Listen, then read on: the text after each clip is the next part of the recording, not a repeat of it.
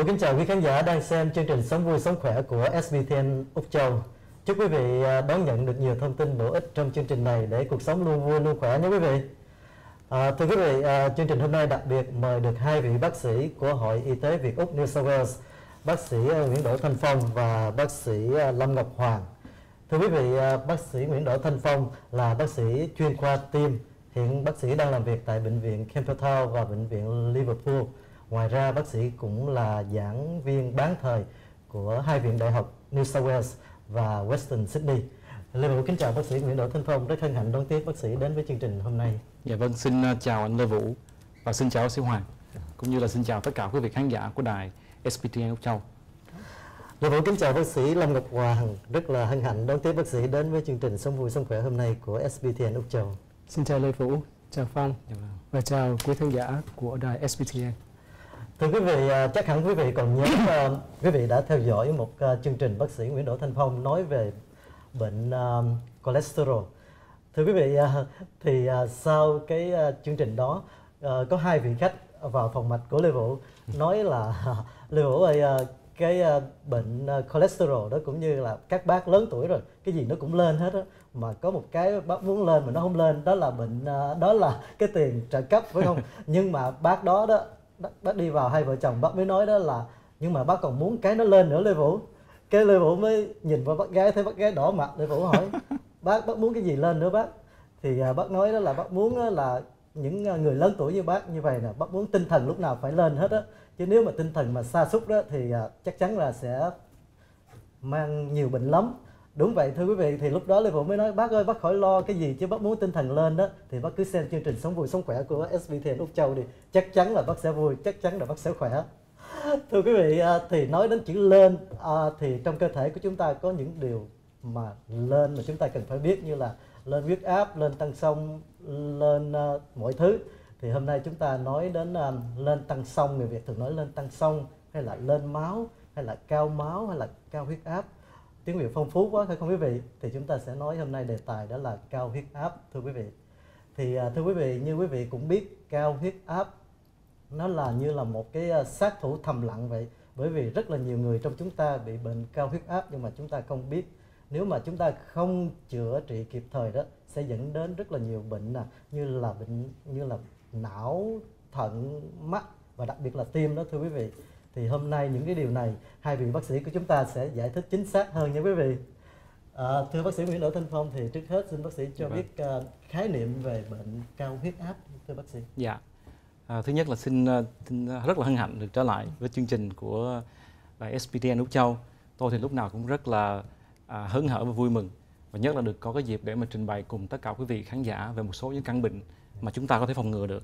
Dạ. Thì um, à, tôi cũng đồng ý với lại Vũ và hai bác gì đó mà bệnh nhân của Vũ đó thì tôi nghĩ rằng là cho dù lớn tuổi hay nhỏ tuổi anh em mình ai cũng cần cái tinh thần lên hết trơn. Tinh thần mà xìu thì thôi tôi nghĩ là chắc là mọi việc nó chẳng nó đi xuống thôi. Nhưng mà ngày hôm nay chúng ta nói về cái căn bệnh cao huyết áp đó hoặc là tăng sông máu hoặc là cao máu thì um, đây là một cái căn bệnh mà hiện nay ở trong xã hội của chúng ta đặc biệt ở tại Úc Châu nó là một trong những căn bệnh mà à, có nhiều người bệnh nhất. À, hầu như rằng là một trên ba người công dân Úc ở đây đều là bệnh tăng sông à, nhất là với cái lứa tuổi mà càng ngày càng cao đó một người mà trên à, 65 tuổi là mình bắt đầu mình phải cẩn thận coi rằng tăng sông thế nào. À, ngoài ra cũng có những trường hợp mà nó xảy ra cho những trường hợp mà những người trẻ hơn. Thành ra cũng đừng có nghĩ rằng là à, mình trẻ tuổi là mình không có bị bệnh tăng sông đâu. Do đó à, cái bệnh tăng sông là cái bệnh mà tôi nghĩ rằng là tất cả mọi người cần phải quan tâm à, thì bệnh tăng sông tăng sông là cái gì? Cái căn bản là cái gì? Căn bản rằng là cái tăng sông có nghĩa là cái áp suất ở trong cái mạch máu của mình đó nó cao quá mức. Và khi mà nó cao quá mức thì nó đưa đến nhiều tình trạng rất là nguy hiểm. Dạ. à, mà cái điều mà có lẽ mọi người đều thấy và đều biết trong trong trong cuộc sống của mình hoặc là qua người thân bạn bè hay là qua trong cái cái cái cái từ tiếp xúc đó mình thấy rằng là một trong những cái tác hại mà rất là rất là à, nguy hiểm đó là bị tai biến mạch máu não thì cái điều đó mình dễ hiểu thôi. Khi mà cái tăng sông ở trong cái mạch máu mà nó quá cao đó thì ở trên mạch máu trên cái não của mình cái não bộ của mình thì mạch máu nó rất là mỏng và rất là nhỏ. Do đó cái thành mạch máu nó vỡ ra. Thì khi mà nó vỡ ra đó thì người đó bị xuất huyết trong não và nó nó, nó kêu bằng là mạch à, tai tai biến. Dạ. ngoài ra đó nếu à, nếu mà cái bệnh tăng xong lâu ngày không chữa trị đó thì à, năm này qua tháng nọ nó làm cho cái mạch máu mình nó sơ cứng đi thì nó cũng gây ra tai biến mạch máu não nhưng mà thay vì xuất huyết thì đó là tai biến não mà do vấn đề là hư cái mạch máu của mình thì đó là một trong những thí dụ điển hình mà thôi thì chút nữa đây có lẽ là bác sĩ Hoàng và tôi mình có thể mình thảo luận thêm Yeah. à, đi vào chi tiết là cái nào là khi nào là cao và khi nào là thấp nhưng mà trên nguyên lý căn bản bệnh á, thì cao máu tức là cái tăng xông ở trong mạch máu mình nó quá cao Yeah. dạ. À, thưa bác sĩ Lâm Ngọc Hoàng thì à, những dấu hiệu nào, những triệu chứng nào mà để chúng ta biết được là bệnh nhân có bệnh à, cao tăng xông Lê Vũ nói từ đầu á, cao máu nó giống như là một cái cái ờ, kẻ Sát sát thủ thầm lặng lặng. À, phần lớn không có triệu chứng gì hết. à, Có nhiều bệnh nhân người ta cứ nghĩ rằng là nhức đầu là triệu chứng, nhưng mà cái đó rất là hiếm, ngoại trừ nếu mà có những cái biến chứng giống như là bác sĩ Phong nói là cái nó bị aneurysm tức là trong cái óc của mình nó bị nở cái mạch máu ra thì mới có triệu chứng đó thôi. Phần lớn không có triệu chứng. ừm, Cho nên đừng có nghĩ rằng là mình không có bị gì, không có triệu chứng gì là mình không có bị cao máu. à. Sao có nhiều bệnh nhân à, Vũ nghe nói là thí dụ như người ta ngồi rồi cái tự nhiên đứng dậy cái say sẩm thì người ta gọi đó là triệu chứng của cao máu thì như vậy Cái đó không phải là cao máu nhưng mà cái đó phần lớn nó kêu là postural hypertension, tức là Ừ. cái áp suất của mình nó bị drop xuống, nó bị giảm xuống. Ừ. Đang lúc mà ngồi đứng dậy Ừ. thì cái máu nó sẽ tụ xuống cho nhiều À, và đặc biệt nó xảy ra cho những người mà lớn tuổi à, hoặc là những người mà ít hoạt động. ừ, Ừ, Tại vì nếu những người hoạt động bình thường thì khi mình đứng dậy á, tự nhiên trong cái chân mình hay là trong à, nó sẽ có những cái phản xạ tự nhiên làm cho mạch máu thắt lại để mà ép cái máu lên tới tim tới óc. dạ. Ừ. Với những người mà cái phản xạ đó nó chậm thì sẽ bị những cái triệu chứng choáng váng và thường thường nó kéo dài một vài giây là nó hết. Ồ, vậy là không có cái triệu chứng những cái dấu hiệu gì rõ rệt lắm chỉ có chỉ có biết là đi khám rồi à, đo huyết áp thì mới biết được là cao hay không thôi Đúng thì rồi. thưa bác sĩ thì những nguyên nhân chánh nào thưa bác sĩ Hoàng những nguyên nhân chánh nào mà dẫn đến ờ, tình trạng cao máu mình nói một cách hai chữ cao máu cho nó ngắn gọn Ừ. cho Cái dễ. cái cái nguyên nhân gây ra bệnh cao máu thiệt ra 95% là không nguyên nhân gì hết. Ừ. Phần lớn là do tuổi tác. À, khi mình càng lớn tuổi thì cái mạch máu mình nó càng cứng. Ừ. Và cái cao máu nó lệ thuộc về hai vấn đề. Cái thứ nhất là nhịp tim và cái thứ hai là cái độ co giãn của cái động mạch của mình. Dạ. Cho nên khi mình càng lớn tuổi thì cái động mạch mình nó càng cứng. Vì lý do đó cái áp suất mình sẽ lên theo với cả với lại tuổi tác. Nhưng mà có những cái yếu tố có thể làm cho à, áp suất mình nó lên. Thí dụ giống như là cao mỡ, Dạ. à, bị tiểu đường, bị bệnh thận, Dạ. à, bị à, lớn tuổi, Dạ. có bệnh lý trong gia đình. À, những cái đó hoặc là những cái bệnh à, khác nữa giống như là về cái bệnh về bướu cổ tức là tuyến giáp nó làm việc mạnh quá Dạ. hoặc là cái uh, cái adrenal gland tức là tiếng Việt Nam kêu là tuyến uh, thượng thận Dạ. nó cũng cho ra những cái kích thích tố có thể làm cho áp suất nó cao lên cái vấn đề khác quan trọng hơn là hút thuốc Ừ. là một cái cái nguyên nho mà rất là nguy hiểm Dạ. cho nhiều người uh, bệnh cao máu nó có thể dẫn đến bệnh cao máu và nó làm cho những cái biến chứng sau này nguy hiểm hơn. Vâng. Thưa bác sĩ Hoàng, bác sĩ Hoàng vừa nói cao máu rồi cao mỡ rồi tất nhiên là cao mỡ là là cholesterol đó là là mỡ ở trong máu đó. Nhưng mà ở đây có một vị bác sĩ mà Lê Vũ phải nói là rất là năng động như bác sĩ Phong. Người ta hả mà những người mà thụ động á thì người ta nói là mỡ trong máu còn bác sĩ Phong phải nói là máu ở trong mỡ đó là rất là năng động những cái chương trình những cái sinh hoạt gì cũng thấy bác sĩ Phong hưởng Dạ. ứng rất là năng động thì người ta gọi là là máu ở trong mỡ lúc nào cũng máu dạ vâng cảm ơn anh Vũ dạ. thì thưa bác sĩ Phong thì à, những à, như bác sĩ đã nói rồi đó là không những già hay trẻ gì cũng đều có thể nhưng mà những nhóm người nào những nhóm người mà Ừ. làm những cái công việc nào mà thường có cơ hội để bị cao huyết áp hơn thưa bác sĩ Dạ vâng thì um, thì đương nhiên nó có một số những cái trường hợp mà nó cái những người đó dễ bị bệnh tăng xông hay là cao máu. Dạ. à, thì tiếng Anh nó kêu bằng gọi là risk. À, thì những người những người đó là những người như thế nào? Thứ nhất là mình đã nói về tuổi. Thì cái người bệnh nhân mà càng lớn tuổi thì dĩ nhiên cái tăng xông mình nó càng càng cao. À, cái thứ hai mà hồi nãy bác sĩ Hoàng có nói là về vấn đề di truyền. Nếu giả sử như là cha mẹ mình anh em mình có những cái tiền sử về vấn đề à, tăng xông hoặc là tiền sử về bệnh tim hay là bị nhồi máu cơ tim hay là bị về vấn đề tai biến thì đó là những căn bệnh mà liên quan đến à, tim mạch đó, hoặc là máu huyết đó, thì cái đó đó mình nên check là biết đâu rằng đó là nó bị di truyền. Ngoài ra đó thì những cái trường hợp khác chẳng hạn như là mình bị mập phù mập phì nếu mà mình quá cân à, ít hoạt động như là vũ nói đó thì là chẳng hạn như rằng là không có hoạt động nhiều à, không có Thụ bị bị mập phì thụ động đó. Dạ. đúng rồi.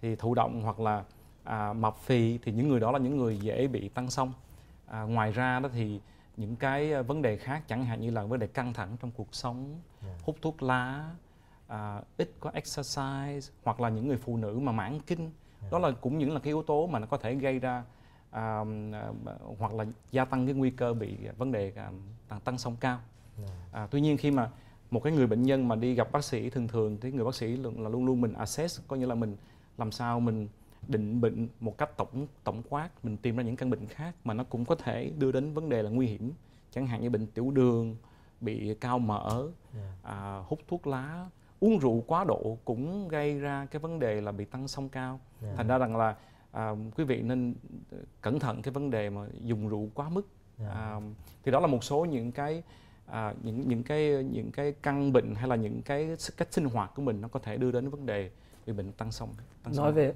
nói về vấn đề phụ nữ những người uống thuốc ngừa thai ừ. à, nó cũng làm cho áp suất lên cao Dạ. cho nên thường thường cái đó cũng phải là cái vấn đề mà cần phải uh, check Yeah. đặc biệt là nếu trong gia đình mình có bệnh lý của bị uh, cao máu Dạ. Thưa bác sĩ thì à, hồi nãy bác sĩ Phong có nói là bệnh cao máu nó cũng ảnh hưởng à, rất là nhiều tới não như là có thể gây ra um, tai biến mạch máu não. Ngoài ra thì cao máu này ảnh hưởng như thế nào đến thận hay là mắt, đặc biệt là tim nữa. Thì bác sĩ à, nói sơ ảnh hưởng có ảnh hưởng không hay là ảnh hưởng sơ sơ thôi ha? Ảnh hưởng rất là nhiều và ảnh hưởng như thế nào bác sĩ Dạ. nói sơ. Um, khi nói về bệnh cao máu á, thì mình phải hiểu được cái cái sự tuần hoàn của máu ở trong người mình nó ra làm sao nó đi từ cơ bên phải qua phổi qua cơ bên trái qua cái tâm thất bên trái rồi sau đó nó bơm ra ngoài Dạ. vô trong những cái động mạch chính của mình thì em có thể tưởng tượng giống như là cao máu á, nếu mà cái tim nó phải bóp ngược lại với lại một cái áp suất cao. Lâu ngày lâu năm thì cái cơ thịt của cái tim nó sẽ càng ngày càng nở ra. Và khi nó nở ra thì trên x-ray cái trái tim mình sẽ thấy nó lớn hơn. Kèm theo đó là cái cơ tim á, bởi vì nó nở ra thì cái tâm thất nó sẽ bị hẹp đi. Như vậy là cái thể tích của cái máu mà bơm ra sẽ bị hạn chế. Ha. và khi mà em biết một bên đổ vô mà một bên ra nó bị yếu đi đó Dạ. thì nó sẽ bị động lại ở trong phổi làm cho người ta không có thở được Nó ra những cái triệu chứng động máu ờ, hay là động nước lại ở trong phổi Dạ. cho nên nó dẫn đến nhiều cái triệu chứng và khi mà cái tim mình nó dày lên chương trình sau chúng tôi sẽ nói chuyện về bệnh ờ, đau tim thì khi nó dày lên á, thì sẽ dễ bị đau tim luôn Dạ. Ừ. Yeah. kèm theo đó về mắt ờm, những mạch máu ở trong mắt khi mà áp suất bị cao sẽ làm cho những cái những cái tia máu đó, đó ở trong cái võng mạc nó bị hư và có khi nó bị rỉ máu Dạ. rỉ chất protein nó sẽ làm cho hư cái võng mạc và làm cho cái cái dây thần kinh mà nó kêu là optic nerve tức là dây thần kinh để mà mình thấy được đó, có thể bị hư hại và có thể dẫn đến bị um, giống như là mình càng ngày mình càng thấy mờ đi và có khi đến mù luôn Dạ. Thận cũng vậy nữa maybe bác sĩ ờ, bác sĩ phong có thể nói tiếp về thận đúng rồi Dạ. thì um, nói chung đó thì khi mà bị bệnh tăng sông đó thì Dạ. nó ảnh hưởng từ đầu tới chân hết tại vì nó liên quan đến mạch máu mà Dạ. thì um, kế tiếp là như là bác sĩ Hoàng nói đó thì những cái bộ phận khác như thận Dạ. tại vì thận là cái nơi mà lọc hết những cái máu của mình Dạ. thành ra khi mà áp suất cao quá đó nó làm cho phá thận hư thận và nó làm cho à, lâu ngày đó là cái leak cái chất protein ra ngoài cái cái cái nước tiểu của mình đó. Rồi cuối cùng nó sẽ bị hư đi. Dạ. có những trường hợp nếu mà bệnh tăng sông không chữa trị đúng mức đó, thì cái người đó bị hư thận rồi cuối cùng phải đi lọc thận. Rồi à, chưa kể là những bộ phận khác chẳng hạn như là về một số những cái mạch máu dưới chân. Dạ. à, lâu ngày đó thì nó bị nó bị nghẽn đi. Thì nói chung đó là bởi vì nó liên quan đến mạch máu thành ra tất cả những mạch máu từ đầu tới đến chân Dạ. nếu mà chúng ta không có control được cái tăng sông của mình tốt đó thì nó sẽ hư hại hết tất cả Dạ. thì đó là cái điểm rất là nguy hiểm ảnh hưởng rất là nhiều những bộ phận trong cơ thể hầu như là ảnh hưởng hết tất cả thành ra rằng là nói chung đó thì thì đây là một cái căn bệnh mà nó tiếng Anh nó kêu bằng systemic có nghĩa là nó ảnh hưởng từ hết ở từ đầu dưới chân từ não bộ cho tới mắt cho tới Ừ. tim cho đến thận cho đến những cái bộ phận khác nữa Dạ. bộ phận Dạ. sinh lý uh, Dạ, cũng sẽ dạ, bị ảnh hưởng đúng cho rồi. nên khi mà mấy người bị cao máu mình always lúc nào cũng hỏi về vấn đề đó Dạ. Ờ, tại vì nó cũng bị ảnh hưởng luôn đúng ừ.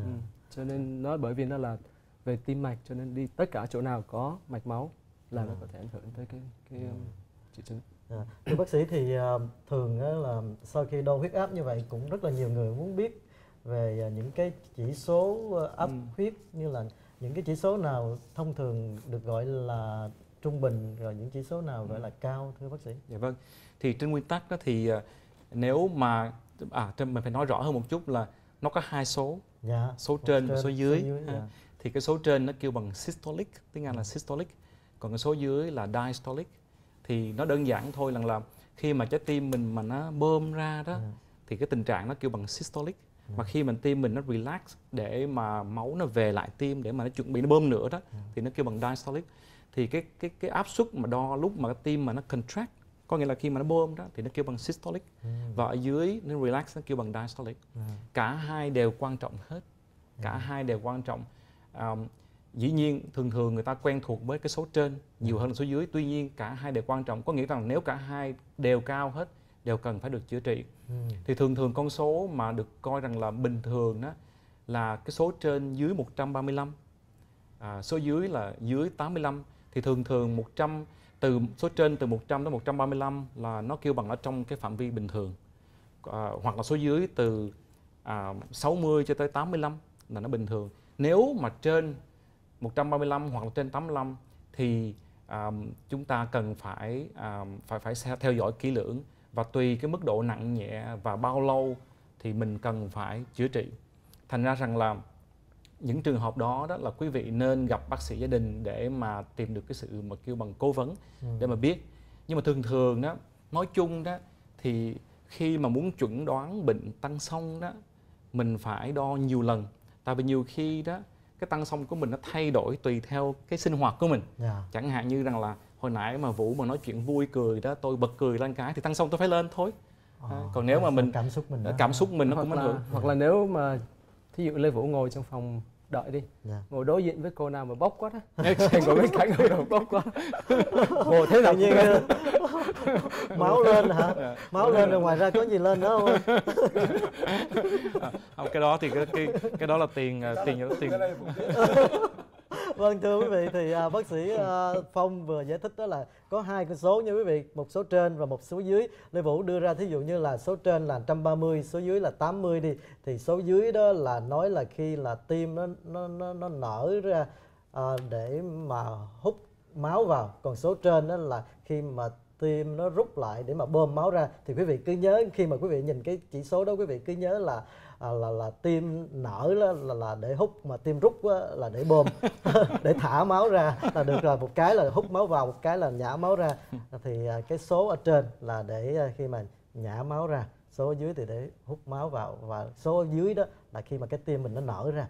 Số ở trên là khi cái tim mình rút lại. Và chỉ số mà quý vị nhớ căn bản đó là khoảng 130 trên 80 thì mà quý vị thấy nó cao quá hoặc thấp quá thì quý vị biết là Dạ. cái cái cái à, áp suất của mình cái áp huyết của mình nó nó không có bình thường. Thì cố gắng à, tập thể dục hay là như thế nào ăn uống đều đặn hay là sinh hoạt à, đừng có để quá stress à, căng thẳng như à, bác sĩ Phong à, vừa trình bày. Cái quan sẵn- trọng cái quan Ờ, trọng nữa là khi mà nói về bị cao máu hay là chuẩn bị Dạ. một bệnh nhân bị cao máu là không phải chỉ đo một lần không? Ừ.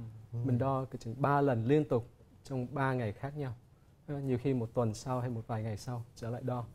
Nếu mà lần nào cũng cao thì lúc đó mình mới nói người đó bị bệnh cao máu. Dạ, tại vì có lúc giống như nãy mình nói trong trường hợp của Lê Vũ dạ, áp suất có thể lên như kỳ sau ngồi bên cạnh một bà cụ dạ, thì áp suất xuống quá thấp dạ.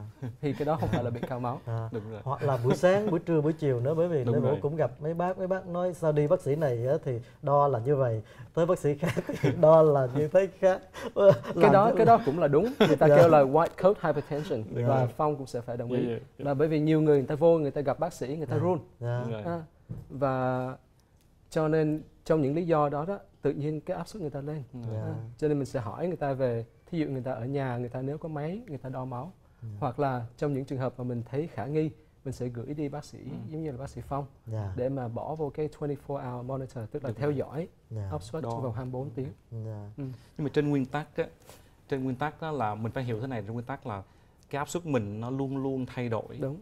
dạ tại vì nếu không thay đổi thì rất là nguy hiểm Ừ. là mình là người máy rồi mình không Dạ. làm được hết dạ thành ra là cái áp suất đừng ngạc nhiên nếu mà là mà mới đo xong nó là 130 trên 80 rồi cái là 5 phút sau gặp Lê Vũ ngoài kia tự nhiên cái là hứng khởi lên 140 trên 90 là chuyện bình thường thôi. À, miễn sao đó là cái trung bình đừng có cao. Dạ. À, miễn sao trung bình đừng cao. Và và cũng một điểm tôi nói nói luôn là bởi vì đây là một cái câu hỏi mà thường thường bệnh nhân hay hỏi đó rằng là à, ờ, nếu như đo là tôi nói thí dụ như chẳng hạn như là à, đo nhiều quá đó tại vì nhiều khi ở nhà nó nó cũng khổ thế này rằng là có nhiều vị cũng rất là quan tâm sức khỏe của mình. Do đó rất là siêng năng đo tăng sa, đo đo đo tăng xong một ngày đó cái chục lần thì tự nhiên cái là hoảng lên là bởi vì đó là 10 lần nó khác 10 lần. Có lúc là một trăm rưỡi có lúc nó là trăm mười có lúc đó là 180 thành ra là không biết phải là cư xử sao rồi cái là tối ngủ không được Lo ăn không lên. ngon lo lắng. Thành ra là cái đó cũng là cái việc không có nên. Dạ. À, nếu mà quý vị nghĩ rằng là quý vị có thể bị bệnh tăng xong hoặc là cái áp suất mình nó không bình thường. Thì cái điều hay nhất rằng là gặp bác sĩ Dạ. để mà được à, khám nghiệm và được đo. Cũng như là như là bác sĩ Hoàng nói có những trường hợp đặc biệt đó là nhiều người vào trong phòng mạch đó, tự nhiên thấy bác sĩ là tăng lên thôi. Thành ra là mình phải dùng những phương thức như là đo đo là dùng đeo cái máy đo tăng xong 24 tiếng đồng hồ để Dạ. mình biết rõ ràng là trong một ngày đó, đó cái tăng xong của quý vị đó là nó nằm ở chỗ nào. Dạ. Thành ra nó có nhiều phương cách để mà mình mình chuẩn được cái bệnh. Nhưng mà nói chung đó cái ý là thế nào? Là thường thường ít có ai mà cho bệnh nhân thuốc một cách kêu bằng vội vã trước khi có một cái sự à, xét xét định một cách chính xác. Thành ra là quý vị cứ yên tâm Dạ. đừng có lo vấn đề đó. À, thường thường bác sĩ rất là cẩn trọng khi mà cho thuốc. Nó phải chắc chắn là có bệnh tăng xong thì bác sĩ mới cho. Dạ. Cái ý là như vậy. Dạ. Thưa quý vị thì quý vị vừa nghe bác sĩ Phong nói về à, phải à, đo cho kỹ rồi mới à, cung cấp thuốc. Đó là cũng một trong những cái phương cách điều trị. Thì thưa bác sĩ Hoàng thì à, bây giờ chúng ta nói về cách điều trị đi. Ngoài cái phần thuốc như bác sĩ à, Phong vừa trình bày một chút ít như vậy thì ngoài ra có những cách điều trị gì nữa thưa bác sĩ? Um, khi mà nói về cách điều trị thì lúc nào người ta cũng nói về lifestyle changes tức là cái cách thay đổi cuộc sống của mỗi ngày của mình. Thí dụ giống như là những người mà hút thuốc thì nên tránh hút thuốc, Dạ, tức là giảm hút thuốc, giảm uống rượu bia, giảm cân, dạ, exercise nhiều hơn, um, làm ít đi nếu mà làm những cái công việc mà quá stressful, ờ, quá căng thẳng dạ, thì bớt đi. Phải có thời gian tập thể dục thư giãn nhiều hơn. À, nhưng mà những cái cái um, thay đổi trong cái lifestyle đó thường thường nó chỉ giảm được cái áp suất mình xuống cái chừng 3 tới 5 độ thôi chứ dạ, không có nhiều lắm đâu. À, cho nên mình chỉ dùng cái phương pháp đó phụ với lại thuốc Thuốc. hoặc là trong những người bị rất là nhẹ thì có thể dùng cái phương pháp đó rồi sau rồi đó mình theo dõi. Dạ, nhưng mà phần lớn khi càng lớn tuổi thì cái áp suất nó sẽ càng lên và trong trường hợp đó phần lớn là phải xài thêm thuốc thôi. Dạ. Đúng rồi. Thưa bác sĩ thì cách điều trị đó thì là bác sĩ à, bệnh nhân cần gặp bác sĩ gia đình hay là khi nào thì bác sĩ gia đình mới mới giới thiệu qua bác sĩ chuyên khoa tim Um, phần lớn áp suất đó là bác sĩ gia đình có thể chữa trị được.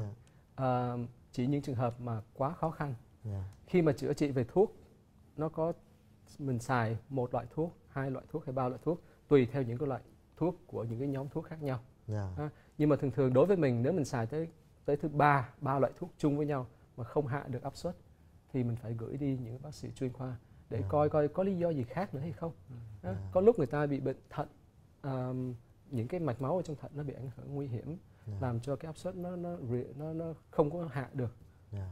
hoặc là có những bệnh gì khác nữa à, và mình cần phải cái sự cố vấn của bác sĩ chuyên khoa về tim. Dạ.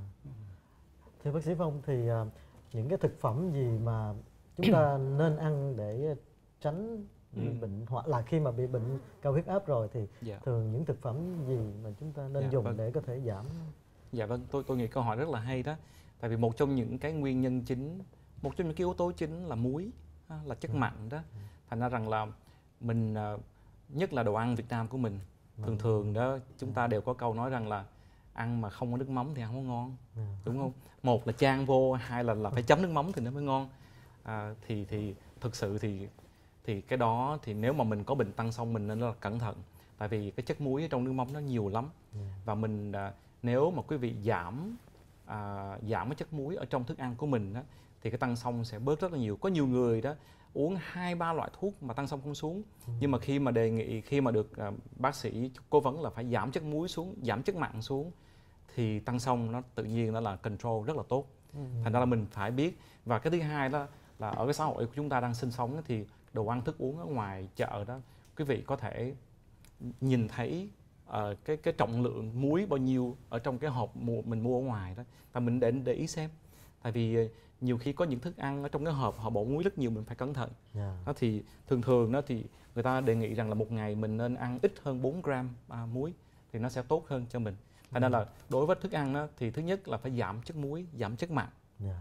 à, cái thứ hai rằng là như là hồi nãy bác sĩ Hoàng có nói rằng là ăn uống à, điều độ à, ăn nhiều chất rau giảm đi những cái chất mà nó có thể làm cho mình sinh ra vấn đề mập phì tại vì những cái đó nó có thể gây ra vấn đề gia tăng vấn đề tăng sông à, chẳng hạn như tôi nói là hôm trước hôm trước mình làm cái chương trình show mà nói về có bác sĩ Phương Anh mình nấu vấn đề thì no, yeah. thì nói vâng. chung đó là những phương thức ăn uống mà nó healthy có nghĩa rằng là à, giảm đi những cái chất ăn mà nó có chất bột nhiều quá ừ. À, giảm đi chất ăn mỡ nhiều ăn chất rau xanh cải ừ. à, thì những cái đó nó đều tốt cho tất cho cho chúng ta dạ. à, giảm rượu bia ha. mỗi ngày thì nếu mà được một ly rượu thôi một ly rượu đỏ hay là một lon bia cao lắm là hai nhưng mà trên tới ba bốn thì thấy nó hơi nhiều rồi thì cái đó nó cũng làm cho gia tăng yeah. Dạ. đó, thành ra là những cái đó là những cái mà tôi nghĩ rằng là những cái um, những cái sinh hoạt rất là bình thường và và nên nhớ tập thể dục nó sẽ làm giảm tăng sông nữa yeah. Và chưa kể nó có một cái bệnh mà um, mà ở đây gần đây thì um, đối với lại ở úc của chúng ta thì người ta bắt đầu khám ra bệnh khám phá ra rất là nhiều đó là bệnh sleep apnea đúng rồi. obstructive yeah. sleep apnea ừ. có nghĩa rằng cái người đó khi mà ngủ ban đêm đó thì à, cái, cái không không đủ chất oxy khi yeah. mình thở vào lo, do là bởi vì cái cái khí quản của mình nó bị collapse xuống đó rồi nó ừ. không đủ vào ừ. và phần lớn là do cái gì do mập phì ừ. Cơ thể quá mập thành ra cái ngực mình nó quá nặng đè xuống yeah. à, thành ra là những cái đó nó đều liên đới với nhau hết tất cả thành ra nếu mà chúng ta biết cách sống cho nó đâu đó nó nó nó healthy yeah. thì nó sẽ giúp cho tất cả tất cả mọi căn bệnh yeah. khi nói về bệnh sleep apnea những cái triệu chứng mà mình cần để ý hoặc là người phối ngẫu cần phải để ý là nếu mà ông chồng mình hay bà vợ mình ngáy nhiều quá ừ. yeah. Dạ. ngáy rất là nhiều xong cái tự nhiên đang cơn ngáy đó người ta ngừng bao số hoàng nhiều khi đó là, là ở với nhau mười mấy năm rồi cái là ông mà không ngáy là bà ngủ không được thành ra là thành ra rằng là hôm nào ông chồng tự nhiên không ngáy cái là tự nhiên bà vợ ngủ không được nó chính vì như vậy ông đang ngáy xong cái tự nhiên ông ngừng ngáy thì đó ông ngừng ngáy xong cái yeah. Dạ. cái lúc mà ngừng ngáy là sao là lúc mà cái cái airway nó bị collapse yeah. Dạ. tức là cái oxygen nó bị yeah. bị cut off ở trong cái cái óc của mình yeah. rồi sau đó là người ta sẽ bắt đầu người ta bị thở không được người ta dồn dập thở giật yeah. mình dậy thổi dồn dập yeah. cái lại ngủ à. một cái lại ngáy một cái à. lại giật mình dậy à. nhưng mà nhưng mà xin lỗi nha, à. vụ nha. Mỗi lần mình nói ngáy mình hay nói ông. Có nhiều bà ngáy ghê gớm nó là ông và ba ừ, người phối ngẫu. Mình không mình không có sex chắc chắn rằng sẽ có một uh, một buổi nói chuyện nói về đề tài này nữa. Nhưng mà bởi vì uh, thời gian có hạn cho nên uh, sau cái phần nói chuyện của bác sĩ Nguyễn Đỗ Thanh Phong và bác sĩ Lâm Ngọc Hoàng thì Lê Vũ à, ghi nhớ nhất là chúng ta cố gắng đừng có ăn mặn quá cũng như người Nhật người ta ăn những cái đồ ăn à, hơi gọi là cái, cái đừng có bỏ nhiều gia vị quá nhiều gia vị quá cũng ảnh hưởng đến sức khỏe. Như lê vũ nói là cao huyết áp này ảnh hưởng rất là nhiều à, như là não thận mắt và tim. Cho nên uh, SBTN Úc Châu đặc biệt là chương trình sống vui sống khỏe này sẽ cố gắng mời hai vị bác sĩ của chúng ta trở lại nữa để uh, nói về uh, một cái bệnh tim mà chúng ta thường gặp nhất thưa quý vị à, chương trình này à, buổi nói chuyện hôm nay à, mang tính chất à, thông tin tổng quát thôi không mang tính chất à, chẩn đoán và điều trị lâm sàng cho nên à, mỗi quý vị đều có những trường hợp cá biệt à, nếu cần thì quý vị hãy trực tiếp gặp bác sĩ để được tư vấn và đặc biệt cảm ơn bác sĩ Nguyễn Đỗ Thanh Phong dạ, vâng, đến với chương ơn. trình hôm nay. Cảm ơn Phụ. Cảm, cảm ơn bác sĩ uh, Lâm Ngọc Hoàng đến với chương trình hôm nay. Rất mong hai vị bác sĩ trở lại trong dạ. những chương trình kỳ tới. Bác sĩ Nguyễn Đỗ Thanh Phong, Lê Vũ và bác sĩ Lâm Ngọc Hoàng kính chào tạm biệt quý vị. Hẹn gặp lại trong những chương trình kỳ tới. Dạ. Thân ái kính chào.